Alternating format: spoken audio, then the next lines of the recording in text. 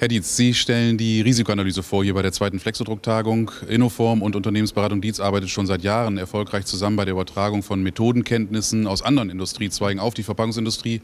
Welchen Nutzen bringt die FMEA für die Druckindustrie? Ja, der, der Nutzen ist eklatant. Ich habe die Druckindustrie kennengelernt als sehr, sehr innovativ.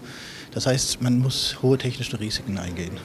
Und wir bieten an, in die Glaskugel zu schauen. Es gelingt uns mit der FMEA zu antizipieren, zu schauen, welche Fehlfunktionen könnten auftreten. Wir antizipieren gemeinsam mit den Fachleuten der Druckindustrie und entwickeln dann Maßnahmen, seien es vermeidende Maßnahmen oder Verifizierung, um nachzuweisen, dass die konstruktive Lösung robust ist.